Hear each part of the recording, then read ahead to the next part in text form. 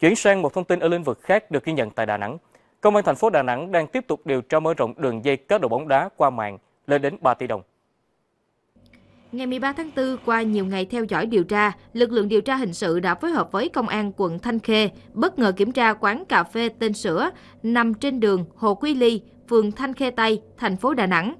Tại đây, lực lượng bắt quả tang đối tượng Trần Vũ Hoài Phương, sinh năm 1994 và Lê Quang Dũng, sinh năm 1968, cùng trú Đà Nẵng, đang có hành vi ghi cá độ bóng đá và chia tiền hoa hồng.